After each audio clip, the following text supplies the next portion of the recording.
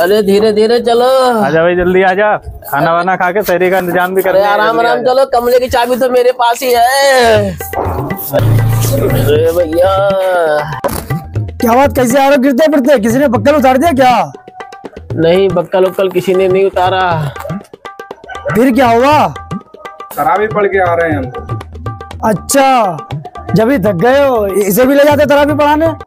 तरावी अबे तरावी मैंने भी पढ़ी है भाई पर मैंने मस्जिद में तरावी पढ़ी है। तभी मैं थका हुआ नहीं लग रहा हूँ देख।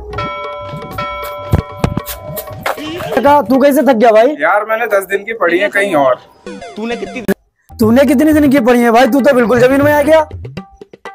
मैंने तीन दिन की तरावी पढ़ी है और आज ही उनने पंद्रह पारे पढ़ा दिए मुझे।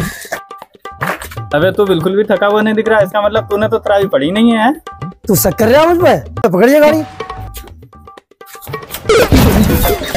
मैं खुद तीन दिन की पढ़ रहा हूँ। इनने पंद्रह पारे पढ़े मैंने सत्रह पारे पढ़े हैं। मुझे उठा के गाड़ी पर रख दे मुझे डबल रोटी लेके आनी है।